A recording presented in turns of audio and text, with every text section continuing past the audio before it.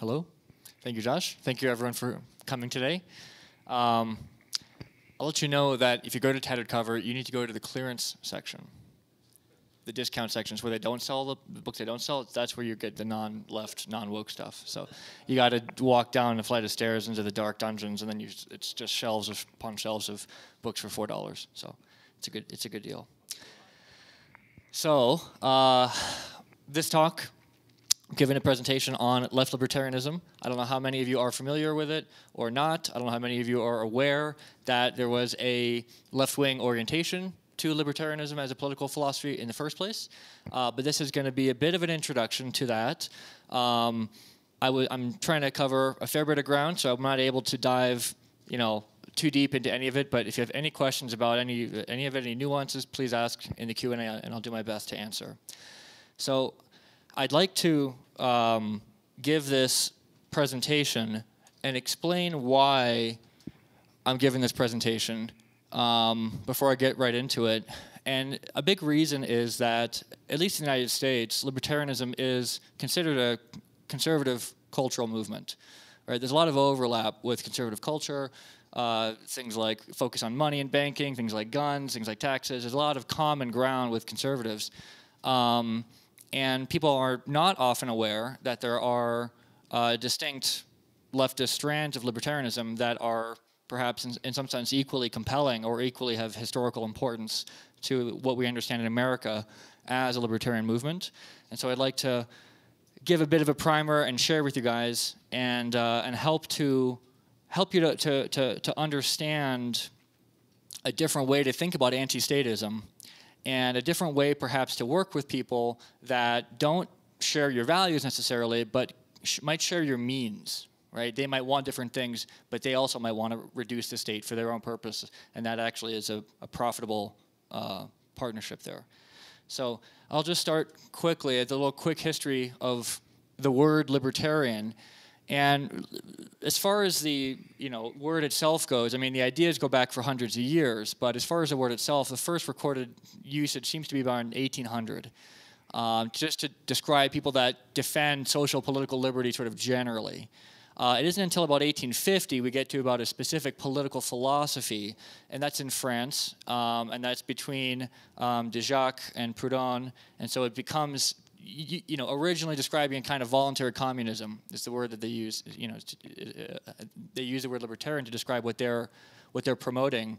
Um, and then throughout the 19th century, it got sort of clustered and uh, grouped together with other types of anti-authoritarian and anti-capitalist left-wing movements, and it became essentially just anarchists. And so, in the 19th century, you have different types of green anarchists and labor anarchists and different types of anti-state, anti-capitalist groups, and they're just generally considered libertarian.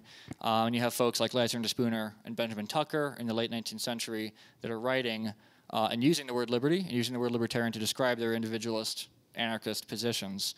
Uh, and then something kind of strange happened in America in around, in around the 1950s. Libertarian ended up being sort of co-opted by a small government, um, sort of conservative political sort of group and you see this expressed uh, through sort of the old right. So if you ever read Chodorov or read Albert J. Nock, you read these guys in the 20s and 30s, Mencken a little bit, they don't really use the word libertarian, but until the 40s or 50s, then they start to use it.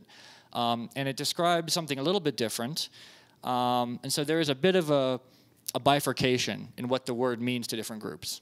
And so that bifurcation is also the same bifurcation that we have with the word capitalism right? So capitalism, as we all in this room understand it, presumably, is a system of free enterprise and free trade and private property and and and so forth, right? Well, uh, that is not how people use capitalism in Europe and historically.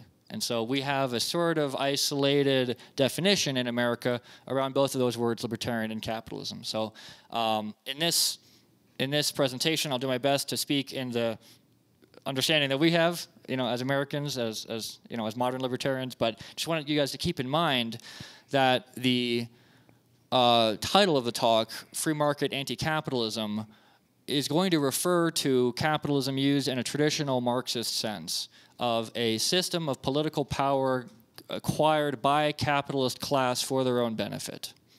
So just as a sort of keep that in mind, I don't want anybody any to cross any wires. So before I get into left versus right libertarianism, I wanted to spend a moment talking about thick versus thin libertarianism. And I don't know how many folks are familiar with this, but we can think about this distinction uh, as, as, as someone supporting thick libertarianism or, or supporting a thin libertarian position as a question of what else is involved in commitments with libertarianism.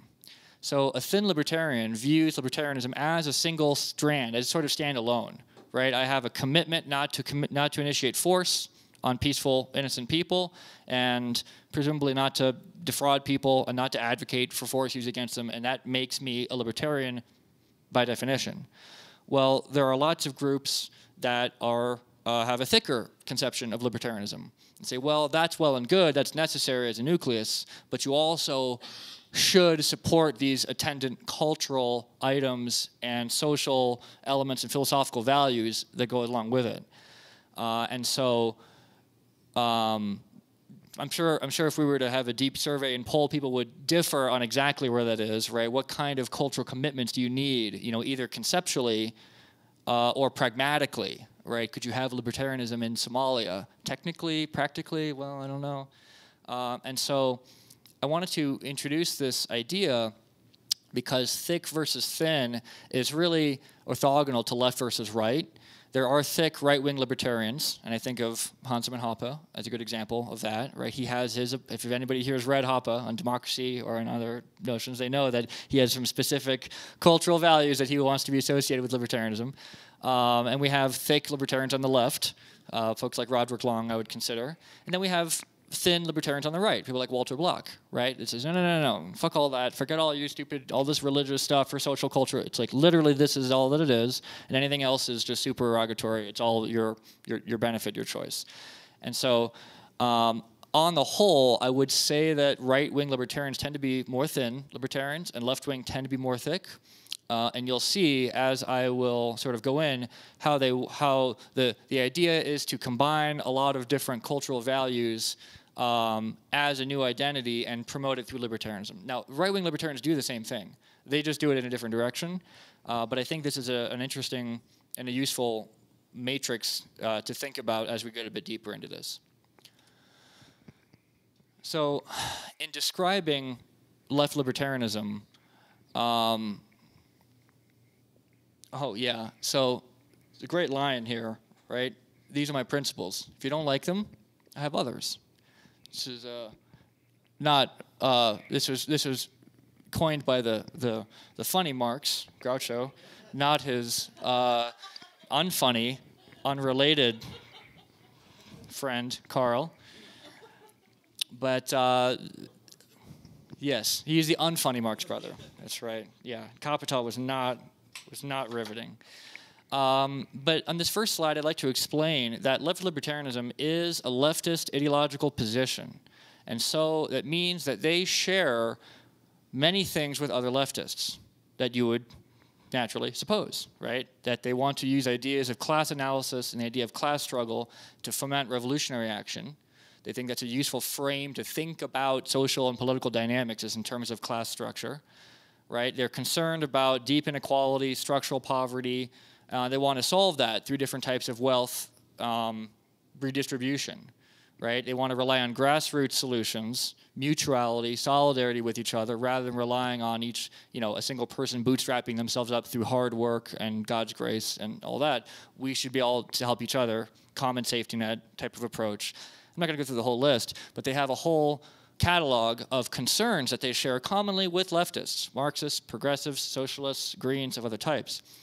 But they differ with other leftists in very strong ways because most leftists that are not of these groups are statists, right? And so they actually want to use the state to create their outcomes, right? They don't like the current arrangement of income and wealth in society. Well, we're going to solve that with, you know, laws and punishments and dictates, right? We don't like that certain people are oppressed versus others. Well, we're going to expropriate from them and we're going to give to the other, right? And so left libertarians differ with other leftists in that they affirm very strongly the necessity and the value of property.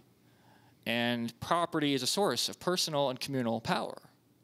right? I have my property and I can defend it. We collectively, you all own property and we can pool it together and we can have economic resources to marshal for our goals that we want to we want to solve solve problems, right? They differ with, with other leftists that freed markets would be equalizing, that they would entail a more diffuse arrangement of power in society, that free markets are not some Randian fantasy of hypercapitalists lording it over the rest of society, digging in the, you know, scratching in the dirt for pennies, which is what a lot of leftists, you know, sort of have this perception, right? Left libertarians give different explanations for persistent injustice and economic problems, right? They attribute that to state privilege, to elites, right? We talk about, you know, we call it crony capitalism. We call it regulatory capture. Well, they have the same terms, right? But in, in their leftist framework, the current persistent problems, whether that's uh, social, cultural, racism, sexism, whether it's economic problems, whether it's environmental problems, these things are derived, rooted in state behavior, not in uh, some kind of organic problem with markets or freedom. And so that differentiates them from other leftists. They suggest other solutions to solve those problems. And what's interesting and important to me is that they view the ruling class we're going to use that term, talking about class analysis, right? The ruling class is a combination of both wealthy capitalist elites and a powerful state.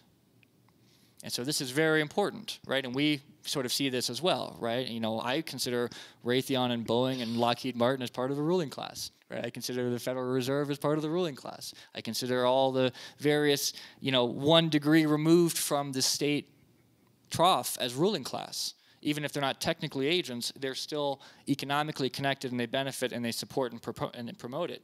And so I think is a useful way to think about it that differs from the way that typical leftists view this ruling class as its technology billionaires and capitalist elites of different types and oil barons and, and so on and so forth. But the state agents themselves are all, you know, kind-hearted saints looking out for our best interests. You know, that's naive.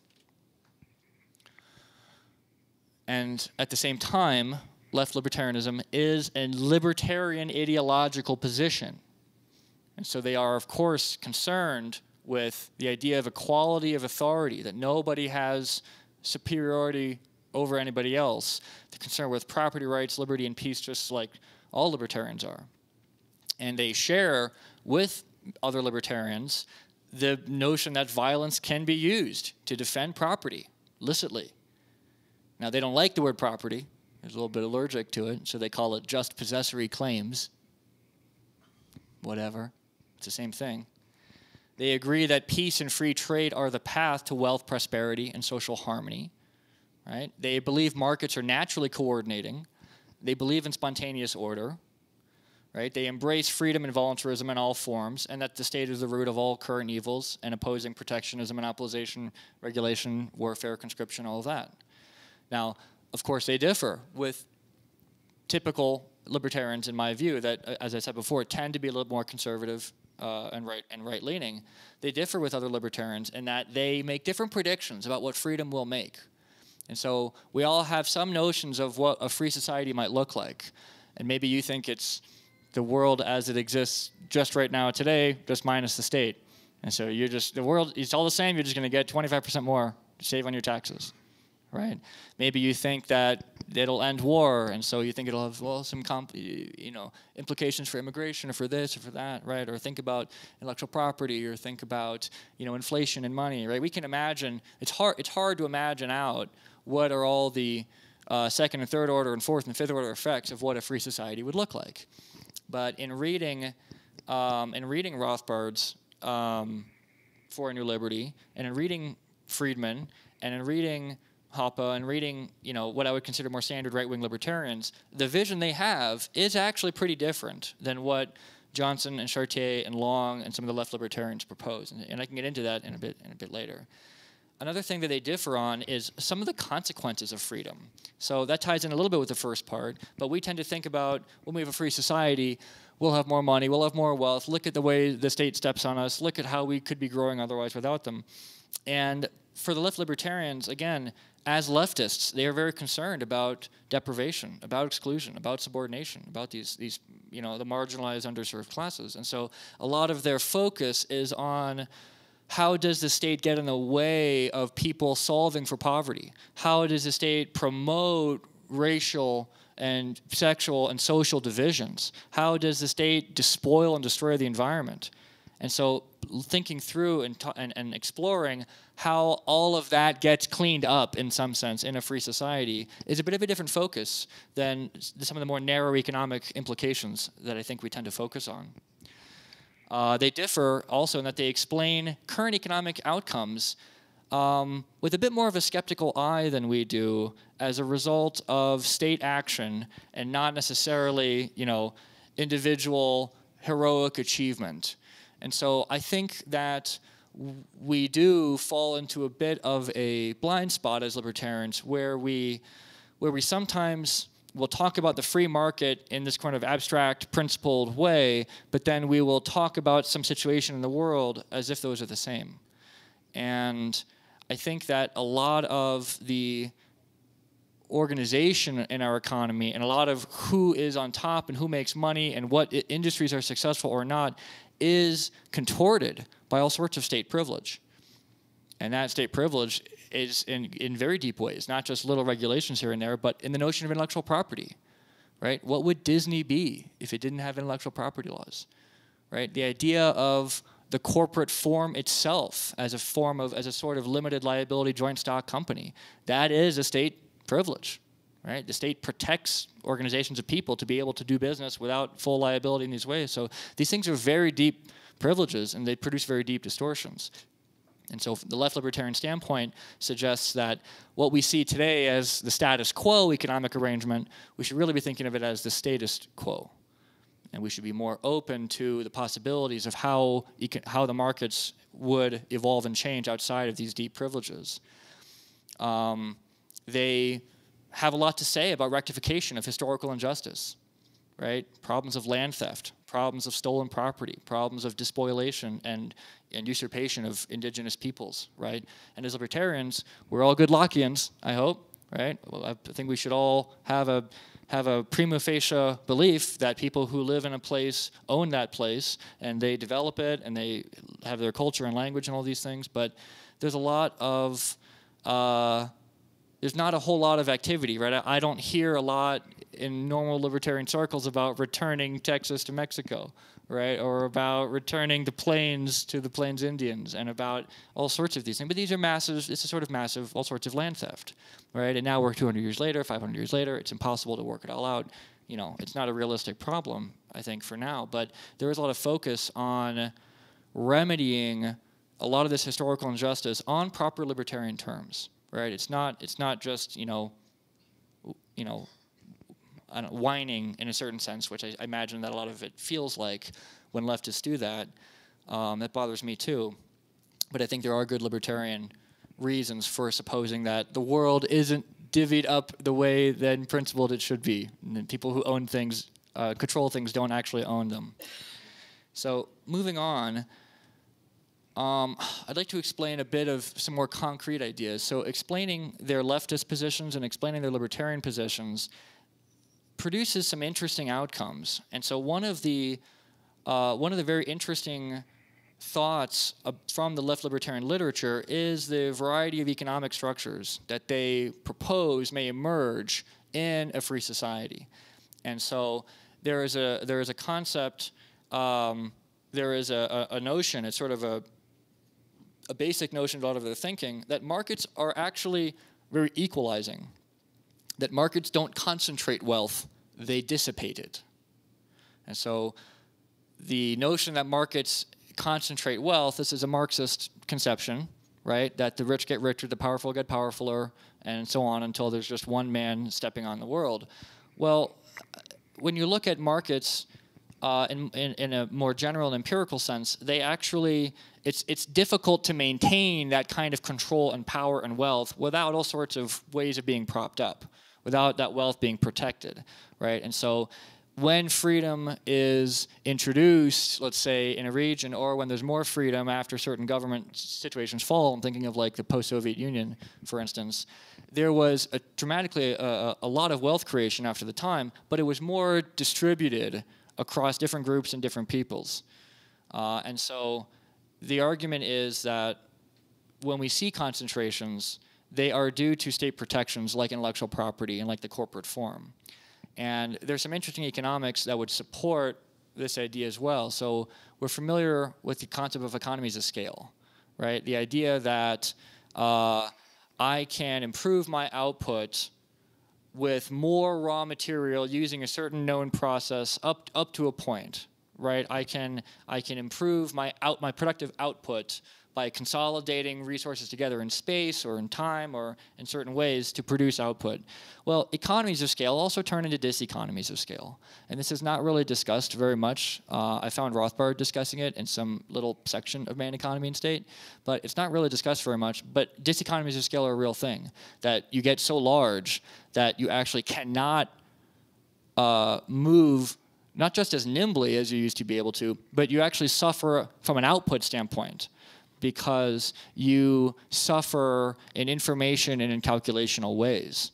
So, you know, thinking about vertical, you know, integration a company that vertically integrates its production process all the way from the raw material to the intermediate goods to the finished goods and, and they sell it, the more companies vertically integrate, the more calculational chaos there is in there. So if folks understand what economic calculation works and how that is, you have to have market prices and to, to determine factor prices to know if you're making a profit. Well, the larger companies get, and the more that they absorb elements of the market and they internalize them, the more blind they are actually to be able to do that kind of calculation. Um, and so they become sort of islands of calculational chaos. So if you guys are familiar with von Mises's socialist calculation argument, uh, he basically argued that in a socialist economy, they can't rationally allocate because they don't have markets and they can't price anything, and it's just sort of chaos of picking whatever the bureaucrats think should be made. Well, Rothbard makes a very astute point that this is also true in, uh, in firms, in enterprises right? Because firms are internal organizations that don't price out every single intermediate good in their in their company, and so unless they have factor, unless they have outside prices, they can't tell should we make this or should we buy it? Or how much what how profitable is each sector of the of the production process? And so the more that companies get larger the more that they run into these sort of calculational informational problems uh, and they actually become less effective. They start they start losing. They, they don't make profits. They make losses instead. So there are natural upper limits to the size of firms uh, that good standard Austrian economics will describe, and so the left libertarians look at that and they and they feel like okay, well if it weren't for all the protections and privileges, then the economic society would actually be a lot smaller and flatter than what we currently have today. And so there's this expression, let markets eat the rich, right? The idea is that it's very hard to become rich and very hard to stay rich uh, if you don't have these protections. And so given that kind of view of industrial organization, they suggest that people would adopt more congenial ways of working. And so a lot of people are familiar with working in a corporation you know, working in a, a, big company, working in a cube farm, having bosses and bosses and bosses and all that. I mean, I, I that's my experience, at least for a lot of my working career.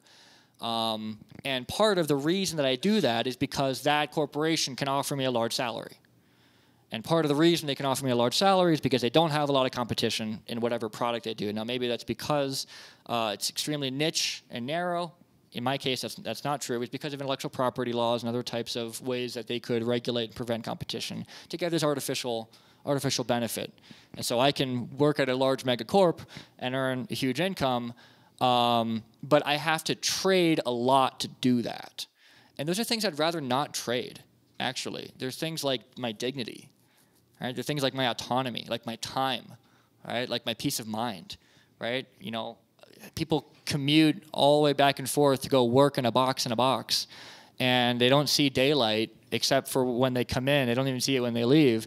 And the way that they're treated is not just subordinate in some kind of uh, obvious hierarchical system of the person that is above you knows more, and so you should probably do what they say. Their employees are treated subordinate in a sort of degrading way, in an unnecessary way.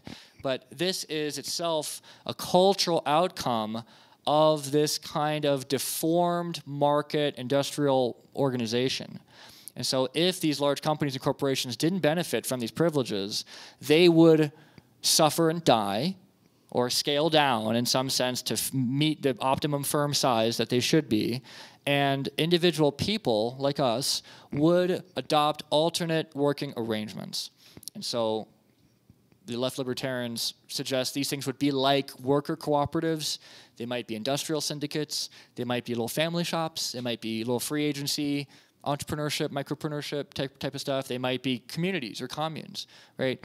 They would, in some sense, be smaller and flatter groups that allow us more human engagement uh, rather than just being a pure human cog in a machine as a, as a mercenary for a company.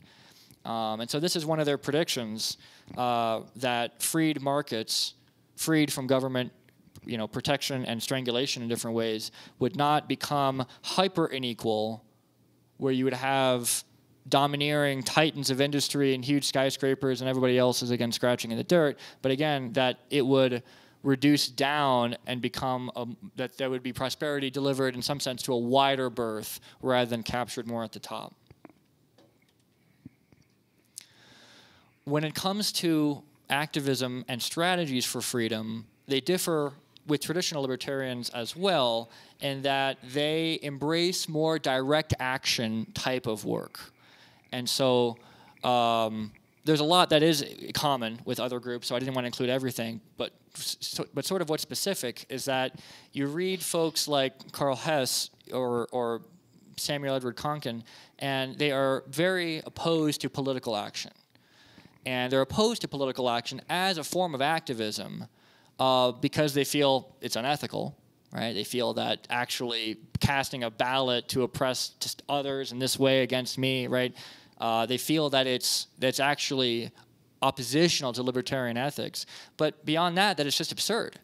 That the state is not going to end itself because you petitioned through its systems for it to do so. This is not going to. There's no. There's no road to freedom. There's no there there, right? There's a dead end for freedom. Um, and the idea is that instead of anarchy, right, this kind of gradual chipping away, we're going to get to a limited small government. We're going to get to some night watchman state. We're going to get finally to some little anarchy, right? Instead, what you get is partyarchy. You have, you know, rule by political party instead of rule by, you know, self-governance. Uh, and, you, and you have this sort of perpetual grind for little gradual improvements, little gradual things here and there, and that occupies a tremendous amount of energy, occupies a lot of a lot of people's energy and a lot of their hopes um, and people get very burned out on that, um, and with other types of activism too. But instead of political action, which they regard as a sort of reactionary and conservative approach, they would have you embrace agorism.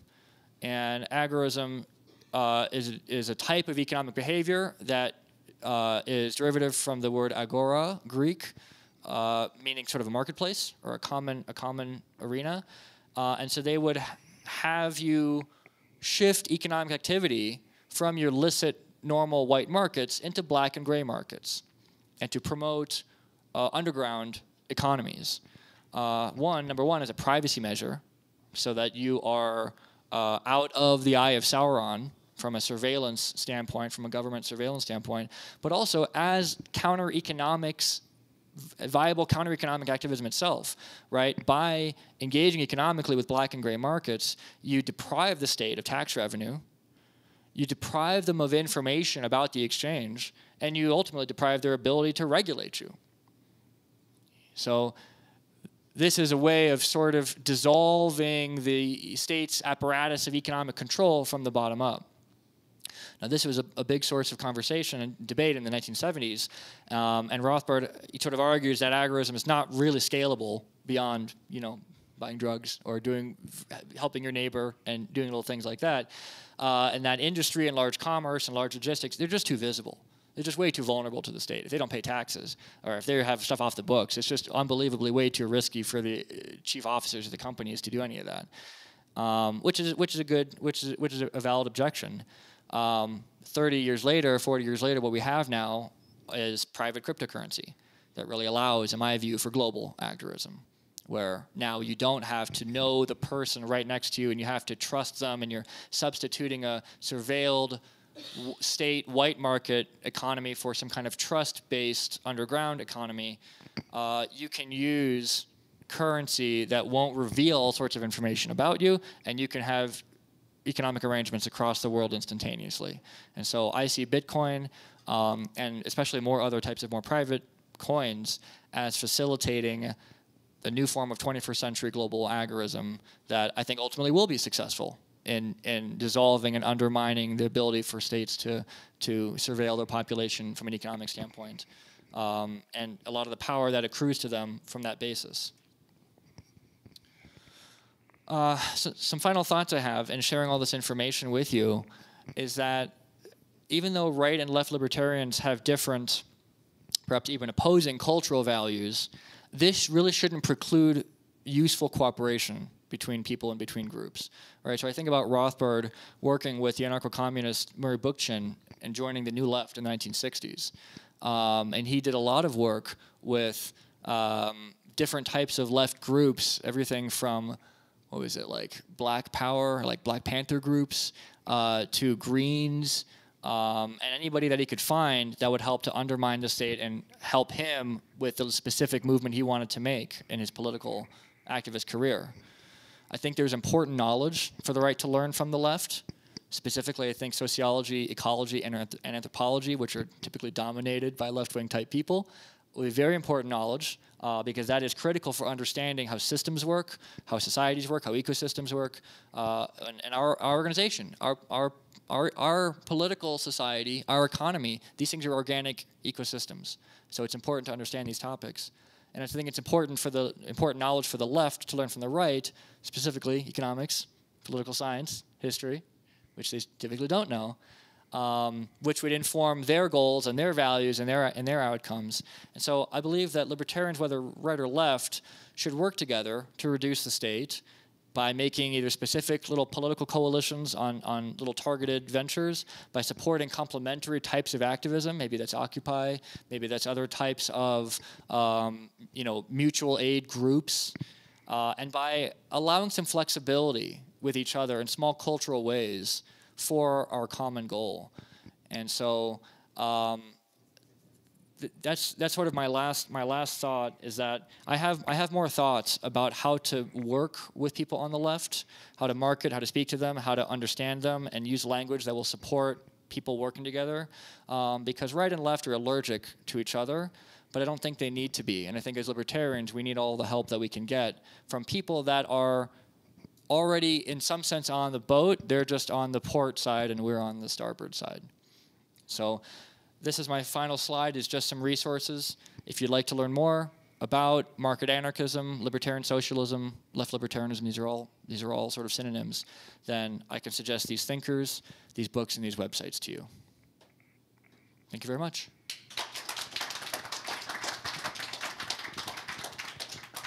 Sorry, I have bunch of questions. Uh, let me start. uh, first one. Uh, did I understand you correctly that left libertarians also share the non-aggression principle? Yes. Yes, that's okay. right. And uh, did I understand you correctly that thin libertarian it's actually cannot be left or right because it's just non-aggression principle, nothing else. Yeah, technically you're right. So people will still be left or right in their own personal ways, but they wouldn't be they wouldn't demand that if you're going to be for you to be a libertarian, you have to support this program or support this program.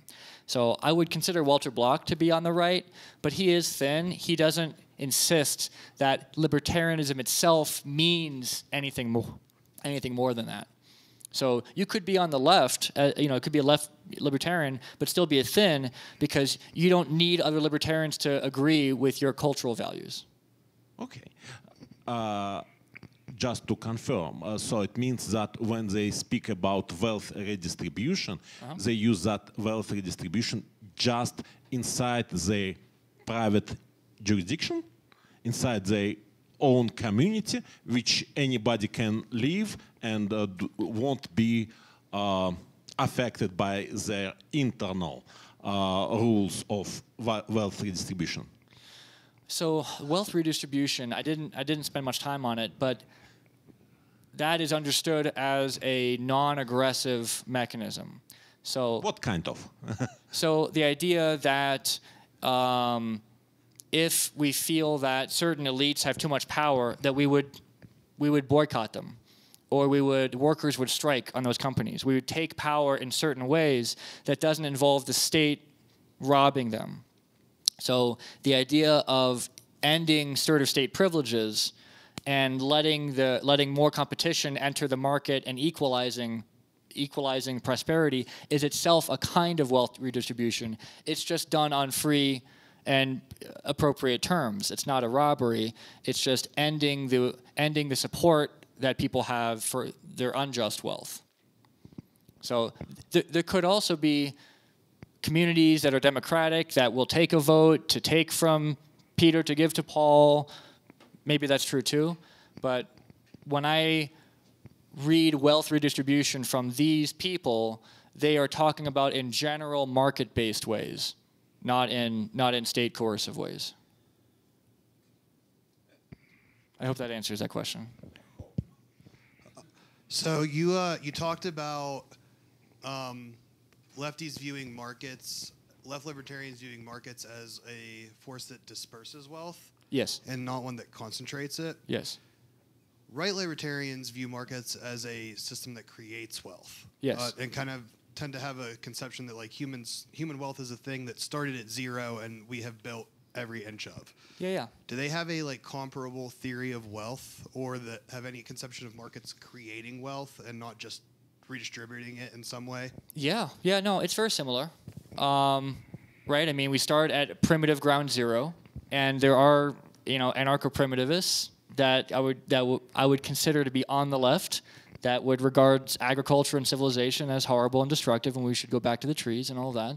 But excluding primitivists from the discussion, I think libertarian socialists do recognize that trade and production and property and organization produces human wealth. It's just a, an argument over where does it end up at the end of the day. So I think they share the same kind of classic liberal Lockean story, you know, Misesian story about we're all, you know, scratching in the dirt thousands of years ago when we discover iron and how to work peacefully, and now we're all wealthy. Um, the argument is more about like, well, how much of how much of the arrangement, how much of the distribution of that today is a function of state privilege versus benign, inevitable market forces, and they sort of and they'd come down on the on the former, on the you know on the former on that one. Um, I, I, liked your uh, diagram of uh, you know thin and thick libertarians and yeah. left and right. How do you think that relates to uh, Thomas Sowell's, you know, uh, constrained and unconstrained visions? How, how does that map, or, or, does it map at all? What do you think? A little bit. Um, that's a good question. I haven't thought about. I haven't read that book for some ten years. Um, I would say the. So I think that maps more to left right than thick thin. So I think the left as a whole has has the unconstrained vision um, because I think the left as a whole tends to view, has more of a sort of blank slate view of humanity um, than the right. Um, I think the I think the left is more nurture and the right is more nature on that debate, if I can put it that way. And so I think that lends itself to how constrained is your vision for what humanity can become. Um, I think there's there's exceptions there. I could probably we could probably contrive for some right wing unconstrained vision about the world, and we could probably discover some left wing constrained vision in certain ways. But just on the top of my head, I would say it maps more to left to right than thick versus thin. Yeah. Hey, thanks for the talk. Really, really cool. Um, uh, you, you, one first statement I have is uh, you reminded me of the uh, of, of an experience I had years ago um, where you were talking about the, the Mises insight on vertical integration of corporations yep. and how there's a lack of efficiency at the bigger the company gets. Yep. Yep. And you reminded me of um, I, I, had a, a, job I had to go to in New York City where there was um, IBM rented out this top floor, this huge building, um, to have this think tank that they set up and I had to go shoot some interviews with some people, and I was like, so off camera, I was like, so what what do you actually do here? And like, we don't know yet. they just rented this office and put us all in here and just asked us to come up with something cool. Because Yeah. that's how small think tanks get started. They come up with an idea, they all work together, and that's how innovation happens. It's like, so none of you actually have any idea. No, no one has an idea. They just put us all here and asked us to come up with something. Yeah. And I just, while you were talking, I searched it up to see if it was still active, and shocker, it's not there anymore. Yeah. Um, but anyway, so that's a great example of vertical integration being horribly inefficient. Right. Instead of a market force pro- providing an outlet for some good idea. Right. Um, second was uh, I'm very interested in communication to the left, right, and left, and, and getting people to uh, coordinate for common good. And one of the main issues, and you kind of touched on it, was that there's like an ideological acceptance that has to happen uh, to say like, do you accept all of my identities or whatever it is, uh, the tenets that I have, in order for us to agree and work together. Yeah. And kind of like one of the basic fundamentals of being sort of a right-leaning mind is that I do me, you do you, and then the thing that we work together on is our individuality. And I find it very difficult to the, the, uh, to work together because I think that the left is very willing to have the right help them with an issue, and especially like when libertarians come to help. But it's never the opposite direction because they're not willing to work with anybody who has a uh, dissenting viewpoint because we don't accept something that they accept. Therefore, we can't help you achieve your goal. By they and we, you're talking. you- You're saying that the left is seems um, more intolerant for the right helping them than for the right to accept help from the left. Or have I got it Correct. Yeah, and I shouldn't have said they and we, but I was thinking kind of like you know, right-leaning libertarians or so on and so you know, the thin libertarians, Sure. right-leaning, and then you know, left libertarians or, or left-wing, whatever it is. Yeah, yeah. Well, I think the left libertarians tend to be a bit more thick in their ideological commitments and the sort of cultural and philosophical commitments. Um, but I don't think that's insurmountable. Um, I guess I'd want to learn some particulars about how your, you know, your your experience or what you're describing to sort of to sort of answer it a bit more concretely. But I think that in my experience, talking with people on the left, that are not libertarians necessarily.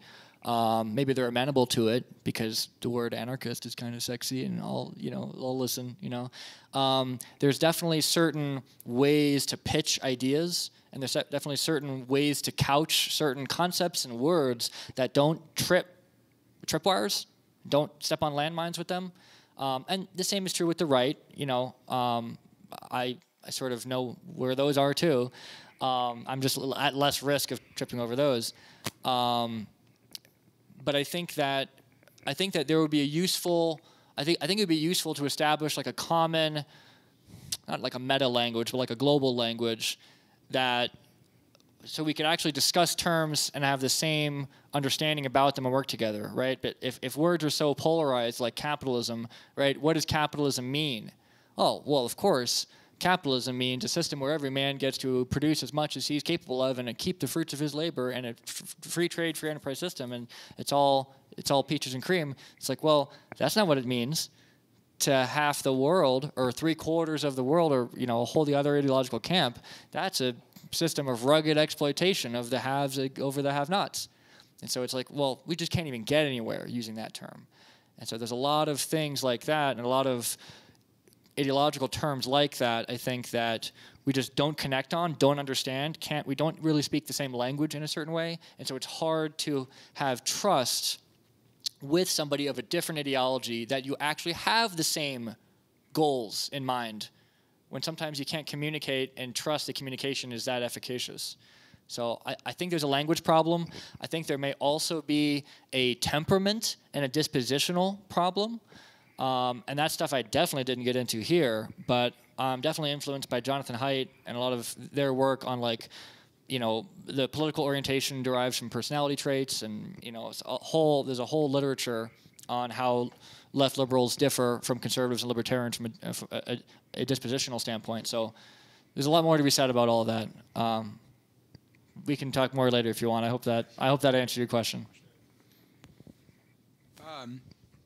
So I was gonna ask how shit that's loud. Uh, I was gonna ask how you define leftism because frankly, agorism is what. So if you think of leftism in common terms, it's often thought of as left versus right economics, which left economics isn't agorism. It's there's uh, all the markets are controlled. You have no voluntary trade and no private property. Whereas some, a lot of the leftism you described tonight is like two points short of my full 10 on the Sapley or Specker, you know? Sure. Um, so I'm wondering Sure. how you define leftism and contrast it to Rothbardian or true laissez-faire Yeah. um, economics. And I'll add in real quick, by the way, a note on capitalism. That was a term created by socialists, and I've stopped using it because the intention of it is to put the focus on property, whereas Yeah. the real focus is obviously free markets and voluntarism. So just an interesting note on that term, but yeah. Sure, sure. Um, so I guess the way I'm using leftism, um, there isn't going to be a, lar- a large difference in an economic sense because this group of leftists are free market oriented. So this group of leftist economics is going to be nine tenths Rothbardian economics. Now there's distinctions. So Kevin Carson and other folks in here uh, are coming up come up with their own ideas. They try to reconcile labor theory of value with Austrian economics. There's different types of mutualist economic uh, theories that are a bit different from what maybe we're familiar with. Um, what is it? Henry George has his own sort of sort of Georgism and different types of geolibertarian views on the nature of land, and we should tax land but not property. And so there are little bits of different strands um, that would diverge from a pure, you know, let's say pure Austrian standpoint. Um, but the way I use left in this presentation is really more cultural left. And so cultural left to me is marked by very strong empathic concern for those that don't have and are being, uh, uh, you know, seemingly seemingly treated unfairly by the system, right? The people that stack up at the bottom of the hierarchical pyramid. The left is very concerned with that, and that's this group, and that's this group, and that's this group, and that's this group, and that's various reasons, right? The right isn't really that concerned with that like there's concern about the, the whole hierarchy and you want to climb and you want to do what you can to be above and to save and to provide and invest and make sure you're higher but from my standpoint inequality economic inequality is probably like the major artery or the major element of leftist cultural and economic thinking. Um, and a concern about the environment or children or animals and the concern about you know you know the different you know ethnic minorities and concern about different things in some sense relates to perception of uh, uh, uh, a, di- a sort of temperament of empathy that these people are are being unfairly treated and now we're going to get righteously angry about it and try to fix it and I think there's merit to that it just depends on the way you want to fix it so um, I don't know if you, you know I don't agree with all the objections maybe, but I think but that's where I'm coming from with the use of the word leftist here. Yeah, and you're kind of leaning into what I kind of wanted to ask is like, what's the relationship between you know leftist libertarianism and equality? Like, like because it seems like a lot of left Yes. sides really value equality. That's true. Um, I will say left libertarians on that exact turn are probably more libertarian than left, and that the equality they promote is equality of authority rather than equality of outcome. Uh, the focus on how markets will alleviate poverty and the focus on how markets will disempower the elite titans that are strangling everyone and the, the focus on how markets will uh, provide uh, a horn of plenty for everyone that's been despoiled that does hit on the equality bell a little bit but they're not uh, I wouldn't say they're communists necessarily. So like that is a range in there, uh, and I didn't you know I didn't want to get into all the flavors and flags and colors and all that whatever. Sure. Well, um, there's there's a lot of varieties to it. So I think ANCOMs are probably I don't know I don't know a, a- decent proportion anarcho-communists are a decent proportion of libertarian socialists as a whole. But there's still a lot of individualist anarchists, still a lot of you know sort of market-based anarchists, uh, green anarchists, all sorts of things that just don't really care that much about making sure everyone is equally as tall as everybody else. You know, Um, but it is it is there. It does exist. Uh, thanks for coming. I'm really excited that you were talking about this because I was uh, I was reading a lot of Nick Land this week, and if you go to his Wikipedia page, it's like maximum scare the hose. It's like inspired white nationalists and far right ideas. But then if you if you go into some of his ideas, he's like looking at cybernetics and he's reading Deleuze and Guattari, who are French Marxists. Yeah. And you know, there's a lot of great. I, I agree with you. There's a lot of great ideas that we can learn from the left, and I'm wondering, uh, for libertarians, like, uh, how can we kind of functionally advance our ideas and not uh, have the right devour itself over the narcissism of small differences and maintain kind of functional uh, coalitions amongst ourselves and also be able to reach out to the left without having them be frightened of, of the right, so Yeah. to speak. yeah, yeah. Um, that's a good question. Well, that's a two-parter.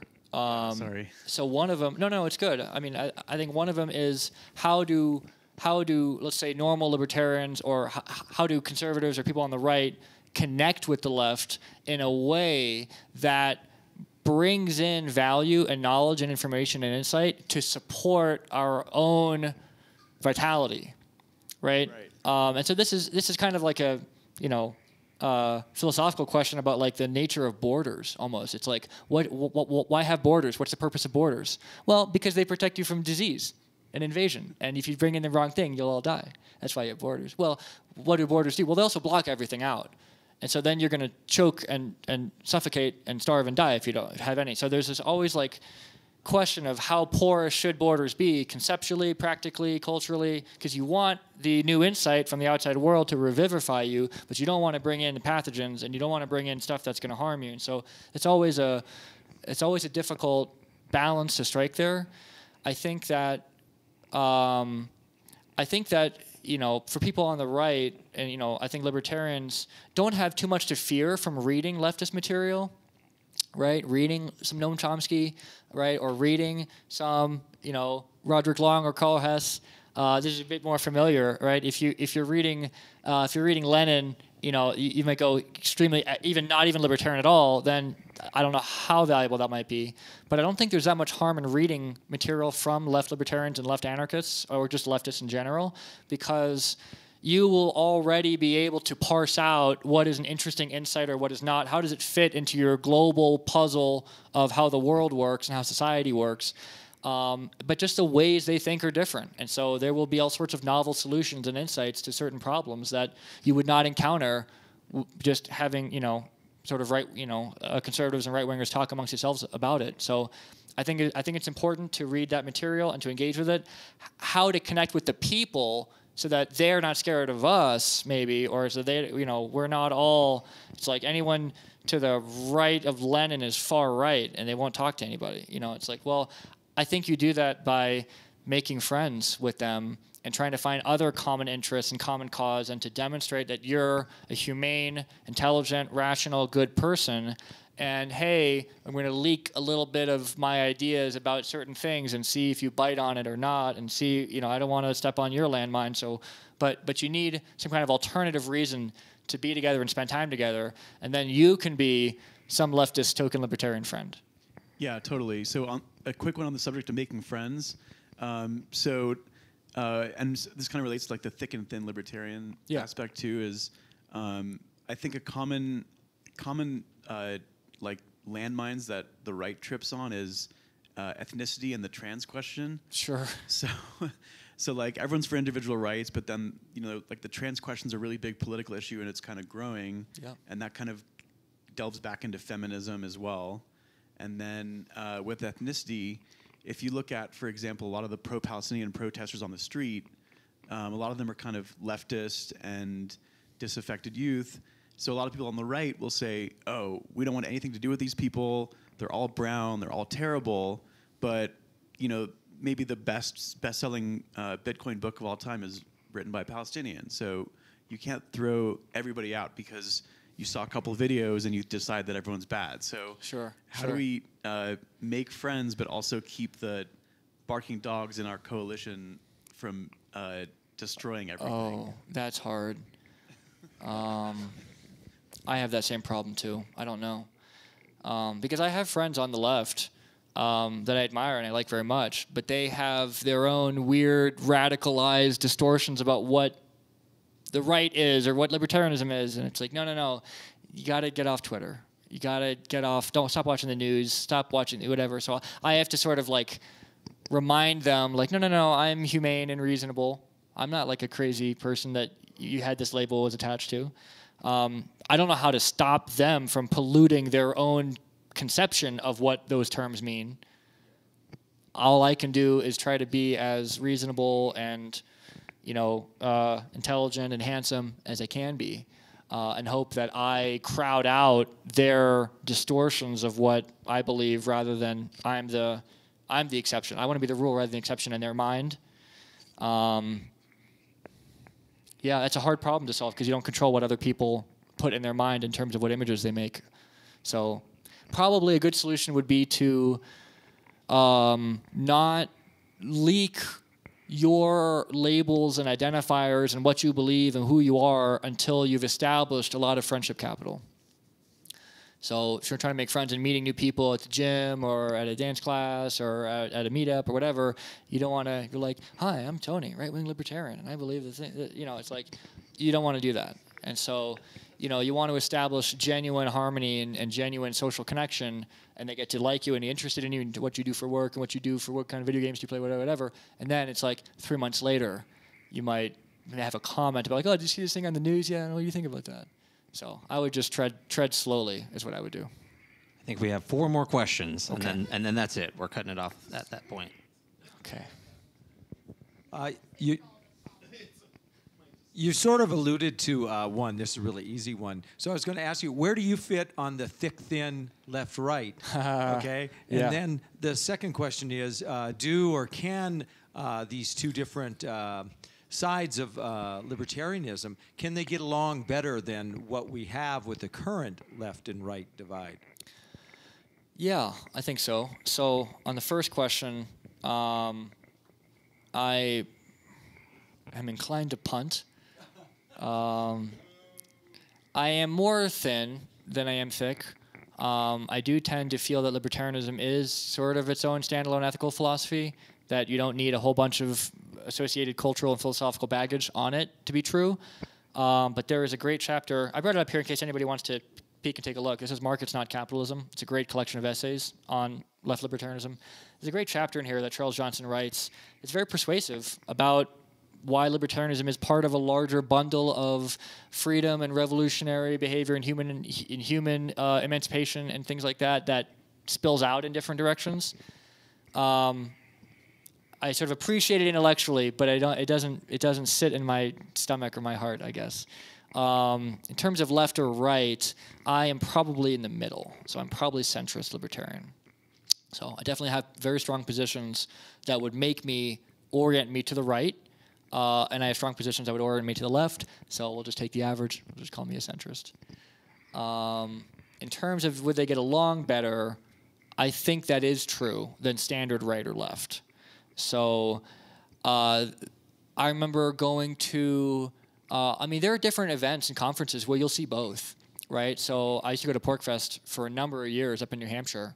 Um, and that is more of a, you know, gun toting, you know, but also weed smoking.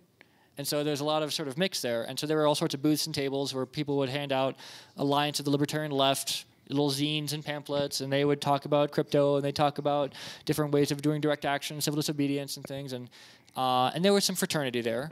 You know, there was some dispute and disagreements uh, there, but also they were all there for this event to support each other and support reducing and ending the state. And there were sometimes our left libertarian booths at, you know, I've seen, I, I wasn't like, I don't think it was YAL, uh, but maybe like Students for Liberty or other types of things. I've seen, I've seen booths there handing out little agorist, you know, pamphlets and things like that. So it does exist. Um, I think if you get a couple beers in, then they're going to be just as hostile to each other as regular right and left. So. So regarding left um, culture, besides wealth redistribution, which I call socialism, uh, Yes. they also have another big um, culture point, what is I would call global warming. They believe that uh, they can use force to uh, protect Yep. uh, environment. Sure. And uh, from my point of view, for example, CO2 is harmless. From their point of view, they can consider as poison. Sure. So how it how right and left libertarians with s- such big difference on uh, uh, on this kind of aspect, how they can, can coexist, because one of them can consider this gas as harmless and another consider them as poison. Well, I mean, if force is off the table, then it doesn't really matter what people believe. Um, well, I guess for general leftists, it's not off the table. So, from a left libertarian standpoint, it is off the table. So, if leftists are concerned that industrial pollution is accelerating the heat death of the planet, and they want to, uh, you know, pass laws and regulations to prevent that, install that, and buy time from that happening. Um, I mean, that relies on their perception of the biological and scientific and chemical reality about the situation. Maybe they're right, maybe they're wrong, I don't know. But it also relies on their willingness to use the state as an organization to accomplish what they believe is right. And so if the state if the state is not asked to do that kind of work, right? Like I don't think the people here, you know, that I'm listing and, and, and describing their philosophy, they don't support state aggression for pollution control. So whether we agree or disagree about the role of CO2 and what it does, it's it's sort of like do you do you think the COVID vaccine was effective or not? Well, it's just a it's just a dispute. But if there's no state forcing people to get you know mandated vaccines, then it doesn't have any teeth. It's just a different dispute. Like, do you think you know if gays get married is that harmful to the culture? It's just another little dispute that they'll never agree on, and that's okay. I think it becomes a problem when they organize the state to you know uh, punish people for violating their views and their feelings on that. So how could there be free market solutions to environment to climate change and environmental other problems? There's different, you know, books and different chapters on that. Um, there may actually be even one in here. I I have to check, but I think the problem really is that the state, as an apparatus of control, is being co-opted by an opinion, one way or the other. Okay.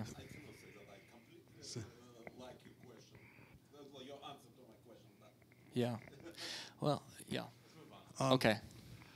So uh, you brought up Chomsky earlier, and uh, he actually has one of my favorite interviews related to this whole subject ever, where Yeah. he gets asked point blank. Um, so, anarchist society, um, someone wants to contract themselves to do labor for someone else. Are you using force to stop them?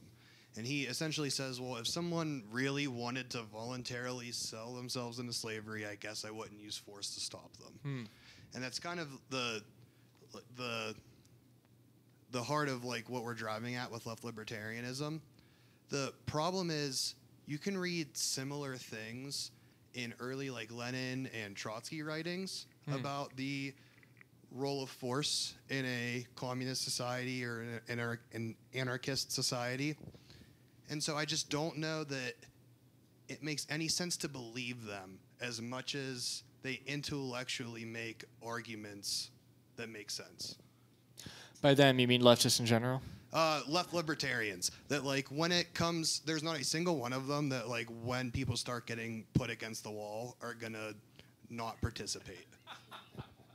All of them. It's pretty. There's a strong claim there. I don't know that I agree. Um, I think that there is. I think that there is a sense where voluntary socialists, voluntary communists, left libertarians historically have been co-opted by state communists uh, and used as useful idiots or used as their pawns to promote, you know, Maoist and Stalinist regimes. Um, and so that's a uh, tragedy. Uh, but I think it's based off of them, maybe these, these situations you're talking about, left libertarians being a bit naive about where do their actual commitments lie. And so maybe intellectually, ideologically, they have strong commitments, but maybe they are not strong enough to back it up with their own guts and mettle and lives. And so maybe that's, again, part of a dispositional difference, right? I don't think that they're intellectually hypocritical. I don't think that they're liars, right? It might just be cowards, it, you know, and so that would lead to the same outcome, right? Um, but I think there's I think also there's things to be said about right libertarians leading to different types of fascist regimes and governments in our you know even more recent history than Lenin. Um, and it's like, well, was Friedman naive to go down to South America and some of this? It's like, well, I don't think so. But you know, again, he didn't have full control over what would happen, you know, down there. Um, and so maybe the same story is with some of these left libertarians, left anarchists. They're not in control of when the tanks roll down the street, you know, all they have are little small small arms fire, and they can't really do much about it. So they're just going to get rolled up into the whole machine anyway. Um, it's a good point. It's a good point to make, though. Last question.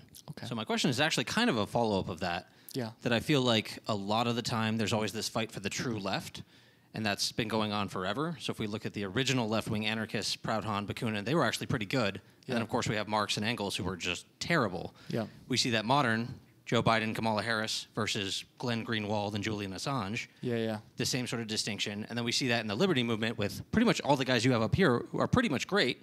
But then we look at people like the Nicholas Sarwarks of the world, Reason Magazine, Cato, Center for a Stateless Society, who get very sort of communist.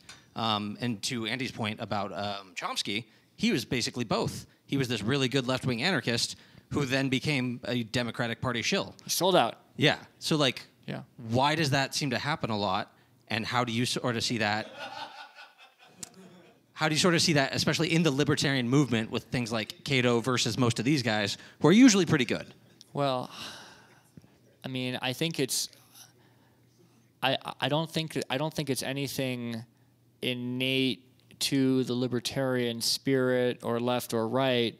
I think it's just opportunity, and people are, you know, penniless academics. And they write little publications and newsletters for 30 years, and then all of a sudden they become part of some political group or cabinet or something, or they get some job in a think tank, and they're asked to write about this or that, or they're or they're edited, they're changed, and so they they just grow accustomed, I think, to the income and the wealth and the prestige and the status that they didn't have for a long time, um, and they just sort of, you know, like like. Can you imagine a future you that's big and powerful, and what he would think about you right now? You think, well, yeah, that was great back then, but now I really have it.